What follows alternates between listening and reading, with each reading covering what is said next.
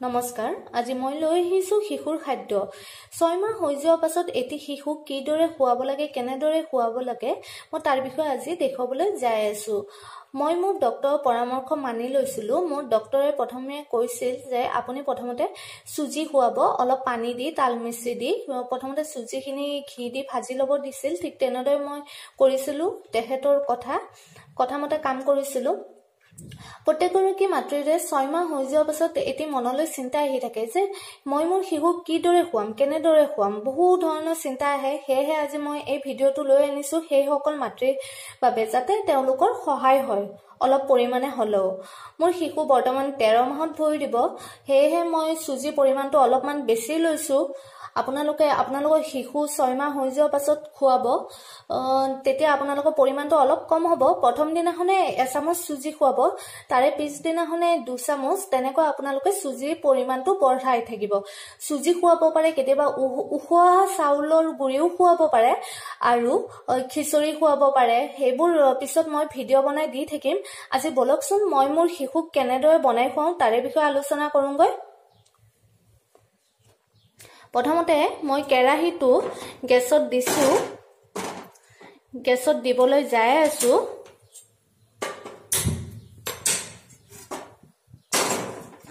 মই চুজিত ব্যৱহাৰ কৰিম পানী ঘি অলপ আৰু তালমিচি। ঘিটো অলপমান দি চুজিখিনি ভাজি ল'ম প্ৰথমে। তাৰপিছত তাতে ৰঙচুৱা হ'ব নালাগে চুজিখিনি। তাৰপিছত তাতে অলপমান তালমিচি দি দিম। তালমিচিখিনি ভাজা হোৱাৰ পাছত মই তাতে গলি যোৱাৰ পাছত অলপ পানী দি দিম। বলকচোন চাওঁগৈ মই কেনেদৰে বনাওঁ। মই ঘিউ দিলোঁ ইতিমধ্যে। ঘি একদম অলপ পৰিমাণে দিব। আৰু গেছটো একেবাৰে চিমত দিব।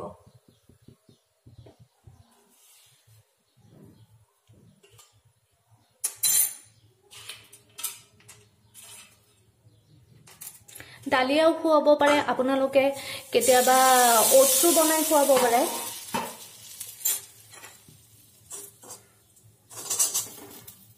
এইটো ছয়মাহ হোৱাৰ লগে লগে কিন্তু অ'টছ ছয় মাহৰ লগে লগে অ'টছ দালিয়া এইবিলাক খোৱাটো নহয়। প্ৰথমতে আপুনি কেতিয়াবা উখোৱা চাউলটোও খুৱাব পাৰে কেতিয়াবা চুজিও খুৱাব পাৰে। তাৰ বেবীটো হজম হয় নে নহয় প্ৰথমে সেইটো লক্ষ্য কৰিব। তাৰপিছতহে আপুনি খুৱাবলৈ যত্ন কৰিব। এয়া দেখিছে মোৰ চুজি।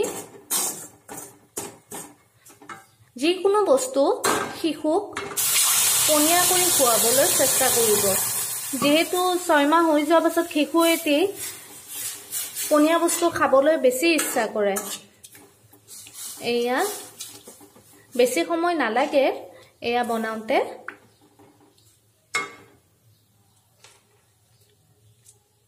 এতিয়া মই ইয়াতে দিছোঁ তাল মিশ্ৰি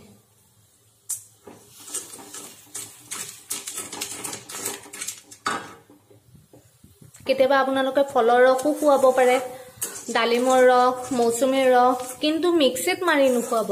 আপোনালোকে আপোনালোকৰ শিশুক নিজৰ হাতেদি চেপি ৰস এইবিলাক চেপি মৌচুমীৰ ৰস চেপি উলিয়াই খুৱাবলৈ যত্ন কৰিবচোন তেতিয়া শিশুৱে সেইবোৰ খাবলৈ যত্ন কৰিব। নহ'লে মিক্সিত মাৰি খুৱালে শিশুৰ অভ্যাস হৈ যায় মিক্সিত মাৰা বস্তু খাবলৈ। মই মোৰ শিশুক এতিয়ালৈকে খিচৰিটো আনকি মিক্সিত মাৰি খোৱা নাই।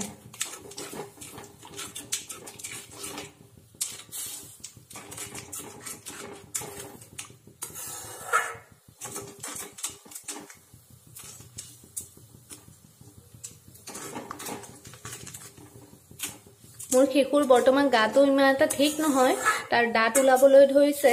সেয়েহে মই আজি পনীয়া কৰি আছোঁ। সি তাৰমানে পনীয়া বস্তু খাই এইকেইদিন খাই আছে এই দুইদিন হ'ল তাৰ পনীয়া বস্তু খাবলৈ বৰ ইচ্ছা কৰি আছে। সেইকাৰণে যিকোনো বস্তু এই দুইদিন মই পনীয়াকৈয়ে খুৱাই আছোঁ। দালিৰ পানী পনীয়াটো খুৱাইছোঁ আৰু খিচৰিটো একদম পনীয়া কৰি খুৱাই আছোঁ।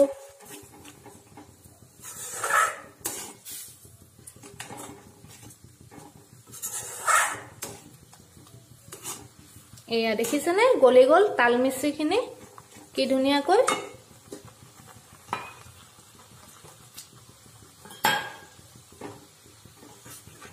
চাই ল'ব আপোনালোকৰ শিশুৱে কিমান পৰিমাণৰ খায় সেই পৰিমাণ মতে আপোনালোকে বনাব যিকোনো বস্তু। উখোৱা চাউল কেনেকৈ কি কৰিব লাগে মই সেইটোৰো ভিডিঅ' আনিম। আপোনালোকৰ মাজলৈ এই দুইদিন পাছত আপোনালোকে মোৰ ভিডিঅ' ভাল পাই কেনে পায় সেইটো মোক জনাবলৈ নাপাহৰিব। ভাল পালে লাইক ছাবস্ক্ৰাইব আৰু কমেণ্ট কৰিব আৰু ভাল পালে শ্বেয়াৰ কৰিবলৈ নাপাহৰিব। এয়া মোৰ চুজি হৈ গ'ল। দেখিছেনে? এনেকুৱা পাতল। ছয়মাহ যেতিয়া হয় শিশু এটিক এনেকুৱা পাতলকৈ খুৱাব লাগে।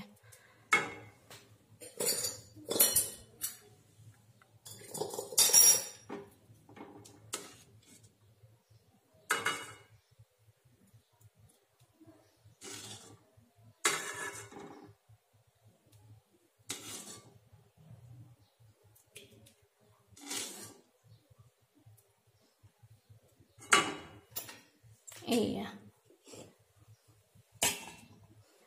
মোৰ শিশুৰ চুজি। দেখিছেনে কিমান পাতল হৈছে? এয়া গৰমে গৰমে আকৌ নোখোৱাব। সিহঁতৰ তালুটো বহুত নৰম। সেয়েহে ঠাণ্ডা হোৱা পাছত খুৱাব এয়া। যিকোনো বস্তু ঠাণ্ডা হোৱা পাছত খুৱাবলৈ যত্ন কৰিব আপোনালোকে। মই মোৰ শিশুক কিদৰে বনাই খুৱাওঁ সেই তাৰে ভিডিঅ' মই আজি বনালোঁ। আপোনালোকে মোৰ ভিডিঅ'বোৰ চাই থাকিব। চাই থাকিবলৈ লাইক ছাবস্ক্ৰাইব শ্বেয়াৰ কমেণ্টছ নিশ্চয় কৰিব। ধন্যবাদ।